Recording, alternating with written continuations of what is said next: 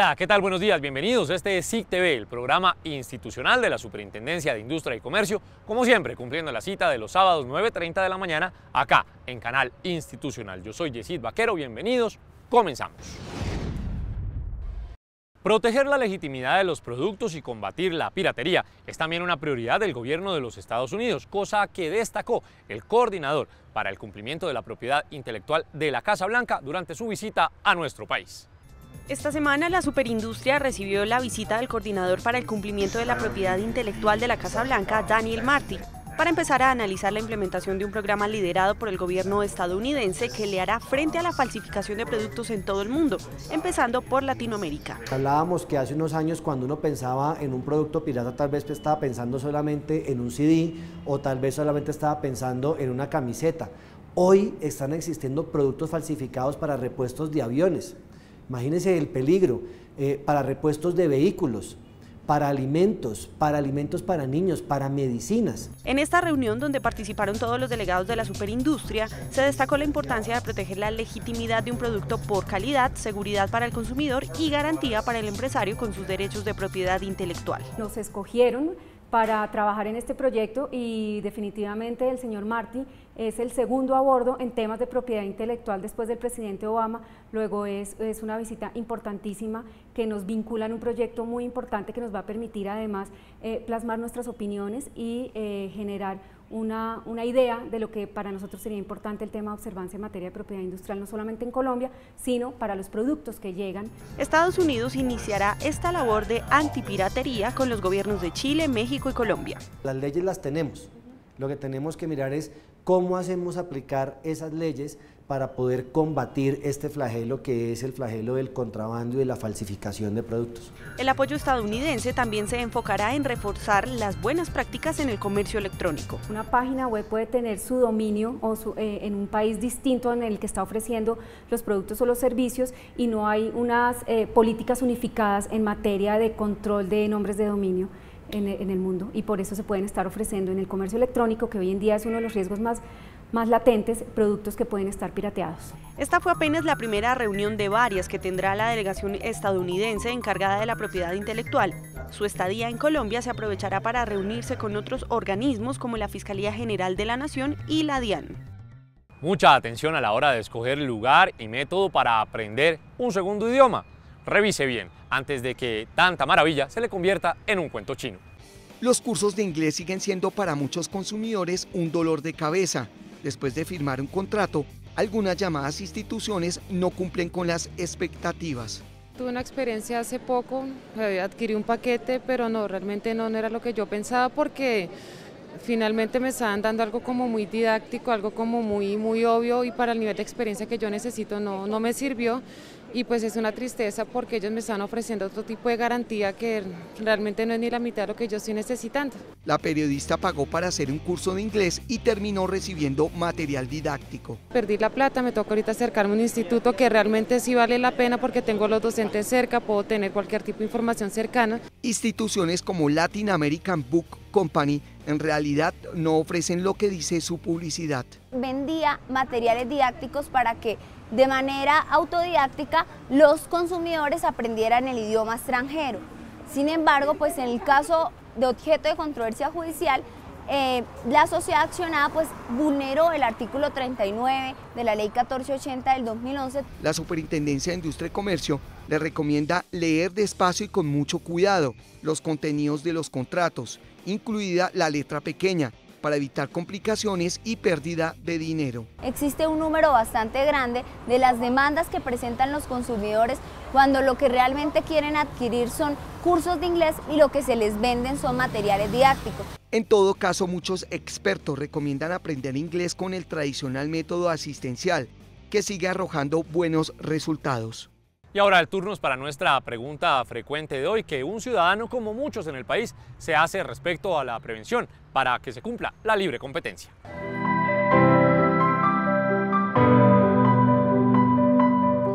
Muy buenos días.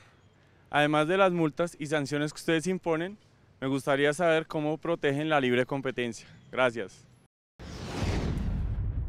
Como siempre, recuerden que la respuesta la estaremos entregando al final de esta emisión de SIC TV. ¿Sabe usted si ha sido víctima de algún delito informático? Pues son más comunes y frecuentes de lo que se imagina y sobre todo con los datos personales. Carolina Fagua, a continuación, nos cuenta de qué se trata. Los delitos informáticos son todas las acciones ilegales que se hacen mediante las nuevas tecnologías con el propósito de destruir medios electrónicos, obtener información de manera fraudulenta o vulnerar los derechos fundamentales de niños y adultos. Hoy explicaremos en qué consiste la violación de los datos personales. Cuando una persona, sin estar autorizada, facultada por la ley o por una autoridad competente o por el titular del dato, obtiene datos, los utiliza, vende, intercambia, envía, en general usa esos datos sin la autorización de esa persona o de la ley y esos datos están contenidos en bases de datos o archivos, entonces incurre en este delito. La ley 1273 de 2009 penalizó los delitos informáticos, lo que significa que una persona que incurra en estas acciones podría tener cárcel hasta por 10 años.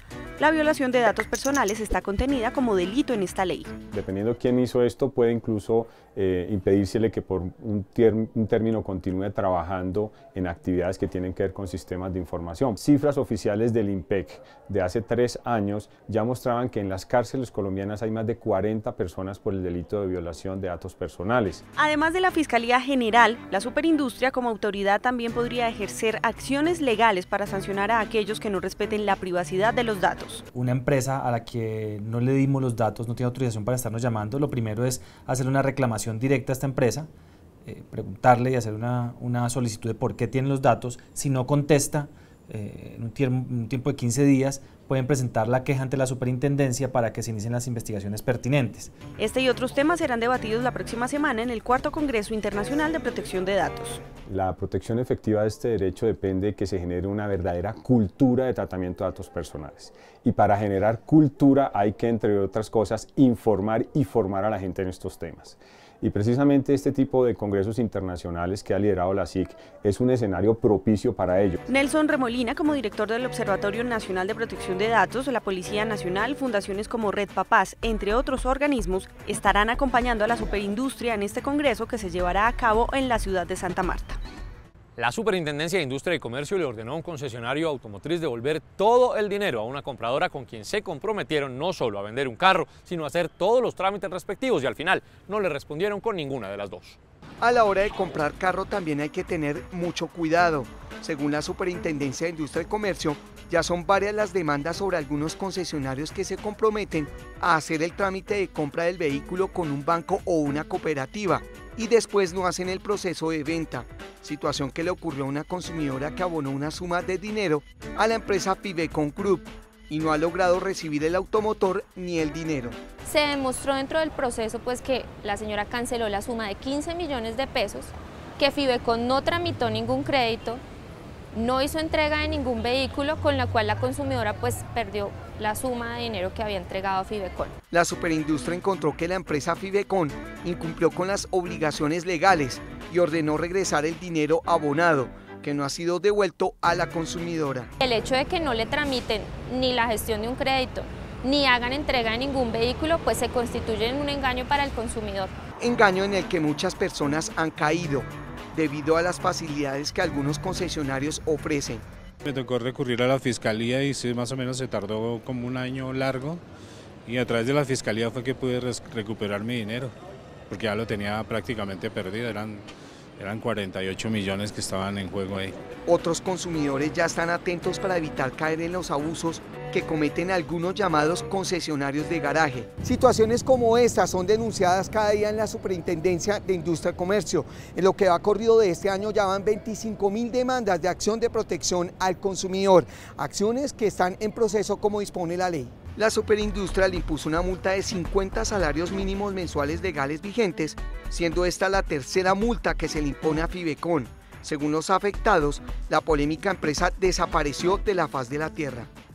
Esta semana el mundo se enteró sorprendido del acuerdo secreto que hicieron varias de las más prestigiosas agencias de modelaje en el Reino Unido. Pero la sorpresa fue aún mayor porque esa mala práctica también se realiza en Colombia y el acuerdo se dejó firmado en una notaría. Desde 2013, la superindustria inició investigaciones en un presunto cartel empresarial que por su sector económico causó sorpresa por el alcance que tienen las prácticas restrictivas de la libre competencia. Se trata de unos empresarios que prestan el servicio de casting, que básicamente consiste en seleccionar modelos para la creación de piezas publicitarias, que pueden ser fotografías, comerciales de televisión. Estos empresarios en control de la superintendencia habían pactado el, precio que habrían de cobrar a sus clientes por concepto de ese servicio. El acuerdo de precios entre cinco agencias colombianas de modelaje fue suscrito en una notaría donde además pactaron porcentajes de los honorarios por los modelos que representaban, lo que a la luz de la ley de libre competencia está mal hecho. Es gente que suscribe un contrato, cree estar haciéndolo en el marco, en el ejercicio de sus prerrogativas legales y en realidad lo que está haciendo es violando abiertamente la ley. La investigación de la entidad derivó en informe motivado del superintendente delegado para la libre competencia. Luego de esto, el caso pasó a ser analizado por el Consejo Asesor de Competencia y posteriormente la entidad decidió sancionar a las cinco agencias de modelaje con una suma cercana a los 68 millones de pesos. Seis personas naturales también fueron multadas. Para la superindustria, este caso es alarmante. La ignorancia que hay de algunos empresarios en relación con el régimen de libre competencia económica y dice también de el hecho de que las distorsiones sobre la libre competencia pueden ocurrir en cualquier mercado. Consultamos con una de las modelos más prestigiosas del país que con más de 20 años de experiencia consideró que este tipo de manifestaciones anticompetitivas es una demostración de la falta de valores entre los empresarios. Hay valores que son innegociables, como por ejemplo no robar. Cada una de las entidades es responsable de sus estatutos, de sus servicios, de un modelo de negocio que tiene una visión, una misión, pero eso no puede entorpecer con una formación integral en valores, con unos sueños que tienen unas jóvenes. Coincidencialmente, la Autoridad de Competencia y Mercados del Reino Unido sancionó en los últimos días a cinco agencias de modelaje británicas porque, según el informe, intercambiaron información sensible entre ellas y acordaron precios futuros. Dos de estas agencias fueron las que descubrieron a las top model Naomi Campbell y Kate Moss. Proteger las creaciones autóctonas y reconocer el trabajo artesanal también es una prioridad en la superindustria. Ejemplos de esto encontró también Edgar Pacheco en su paso por el Amazonas. Las artesanías del Amazonas se han posicionado como una de las más apetecidas por turistas que valoran la variedad de materiales y su alta calidad, con la que diferentes etnias indígenas realizan accesorios donde dejan plasmada su historia y su cultura manualidades que ahora tienen sus marcas y que son protegidas por la Superintendencia de Industria y Comercio. Me siento muy agradecida, muy agradecida con la Superintendencia de Industria y Comercio, pues por, por, ese gran apoyo, pues yo digo eso, ¿no? De que pues es un gran apoyo para nosotros como, como empresarias, pues que estamos creando nuestras propias empresas. Empresas que llevan una tradición familiar, donde es vital la elaboración de los accesorios que son hechos con fibras, cortezas y tinturas vegetales. Cuando yo tenía ocho años, mi, abuela a mí me enseñó, me llevaba a la selva, cuál es el proceso, o sea, cómo se hace, para qué sirve la palma de guarumo. Entonces, pues ella nos enseñaba eso y esa es la que yo ahorita, pues en esta época estoy enseñando a los niños, jóvenes, mujeres, para que no se pierda nuestra cultura, para que se mantenga.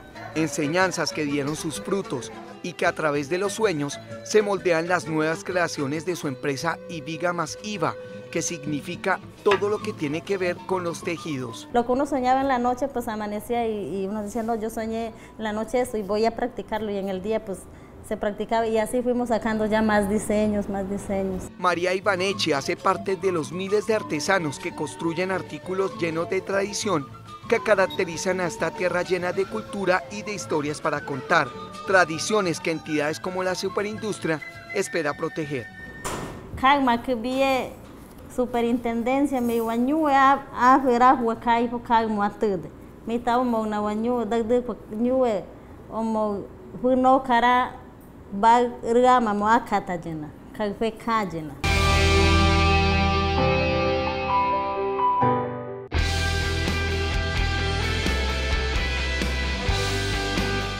124 fueron los inventores colombianos postulados en 2015 para participar en el Premio Nacional al Inventor organizado por la Superindustria. El año pasado se recibieron proyectos de innovadores provenientes de Cincelejo, Barranquilla, Ibagué, Pamplona, Yopal, Medellín y Bogotá. Para este año, las inscripciones en las categorías infantil, juvenil, industria e investigadores continúan abiertas hasta el próximo 9 de septiembre a través del correo electrónico premiuminventor.sic.gov.co. Y ahora hablemos de carros, específicamente de la marca Kia, que acaba de obtener un registro de diseño industrial para su último modelo de la línea Sportage. En el último año, la superindustria ha recibido un 40% más de solicitudes de registros de diseños industriales de vehículos comparado con 2010. Un diseño protegido hace poco fue el de la reciente versión de la camioneta Sportage de la marca surcoreana Kia. Es una camioneta un poco más agresiva en sus, en sus líneas, sigue conservando lo característico de las de los vehículos eh, coreanos y es las grandes luminarias frontales rasgadas hacia la parte posterior.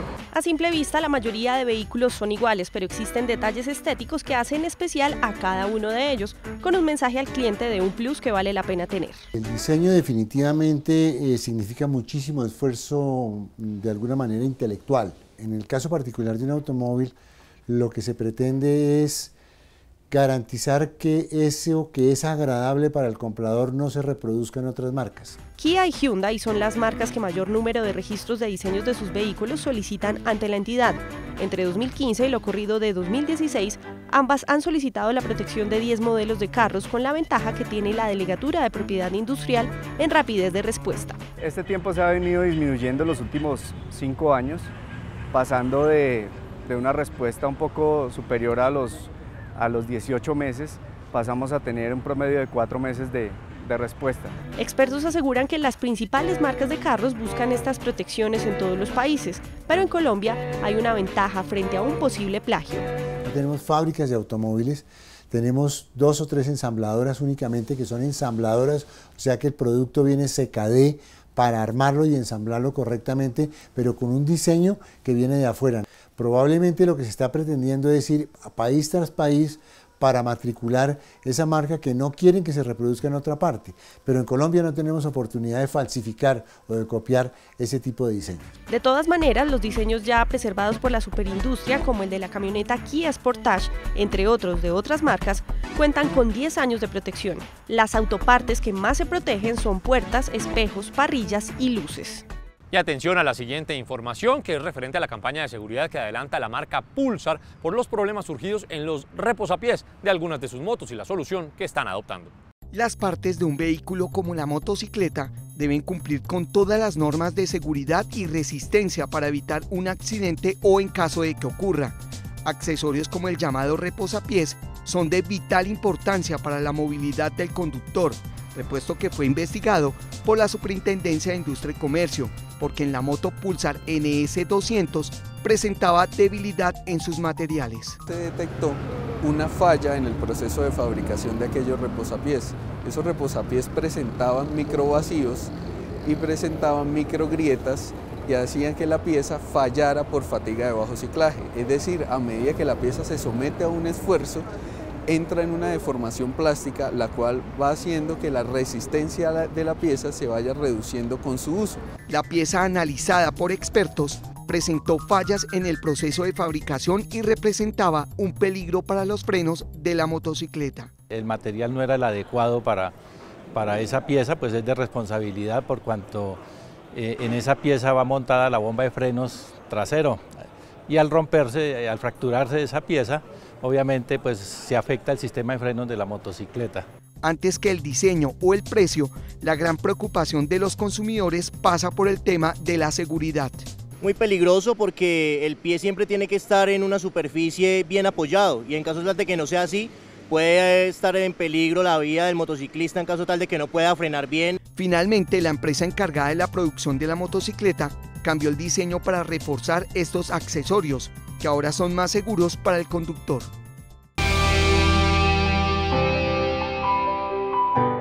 Este lunes se cerrarán las inscripciones para el curso virtual Amigo Consumidor, Yo Respeto Sus Derechos.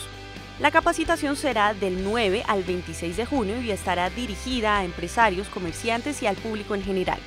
El curso explica los derechos y deberes que impone la ley y la capacidad de poder afrontar las diversas situaciones donde pueden vulnerarse los derechos de los consumidores, los interesados podrán ingresar a la plataforma las 24 horas durante el tiempo de la capacitación. Las inscripciones las puede realizar a través de la página de la superindustria www.sic.gov.co. Les cuento que el Foro Económico Mundial y la Organización Mundial para la Propiedad Intelectual trabajan unidos y en beneficio de los inventores. PAI es el programa de asistencia a inventores auspiciado por el Foro Económico Mundial y la Organización Mundial para la Propiedad Intelectual, dirigido en Colombia por la superindustria. Lo que busca es beneficiar a inventores de bajos recursos y a micro y pequeñas empresas para la presentación de solicitudes de patente. Los inventores que quieren hacer parte de este programa deben inscribirse, ¿sí? enviar la información y después se reúne un comité técnico que evalúa la solicitud para ver si se beneficia o no a estos inventores. Colombia es el primer país del mundo en desarrollar este plan de amparo para los inventores que necesiten apoyo económico para la solicitud de patente. Actualmente hay cinco inventores que están cobijados por este beneficio y uno de ellos es el autor intelectual de este mecanismo que promueve la tracción de vehículos en superficies enlodadas. Es una araña elaborada en acero que se acopla a la cara externa de la llanta del vehículo en las ruedas motrices. El mecanismo permite controlar esa situación estabilizando la trayectoria cuando se circula por eh, terrenos resbalosos. La biomimesis es el principio que estudia la naturaleza como fuente de inspiración y en este caso la invención se asemeja a las garras de grandes mamíferos que les permite trepar en árboles. Ese mismo sistema de agarre impediría estos graves accidentes y fue precisamente uno de ellos el que motivó a la creación de la invención.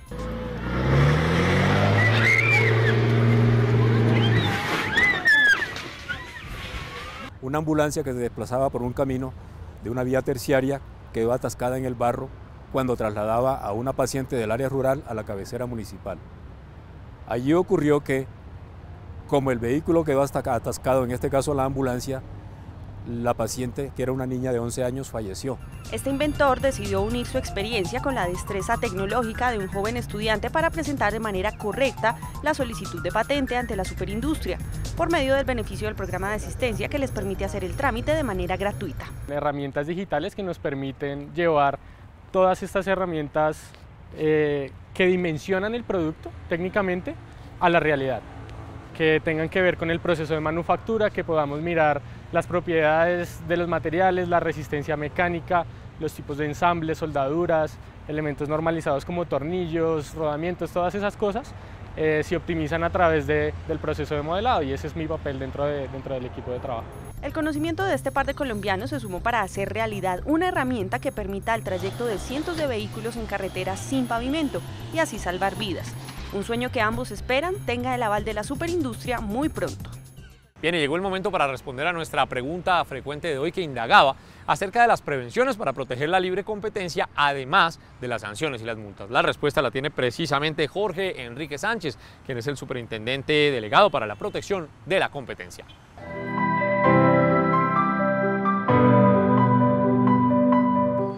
Buenos días.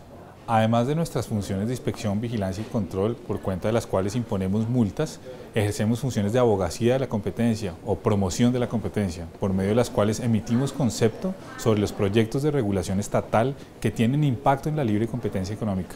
Por esa vía garantizamos que el régimen de libre competencia económica sea acorde en toda la regulación estatal en beneficio de consumidores, empresarios y del funcionamiento acorde de la actividad estatal. Gracias a la textura de su botella, única en el mundo, un legendario whisky ahora está protegido por la Superintendencia de Industria y Comercio. Detalles de esto y más en nuestro próximo capítulo de SIC TV.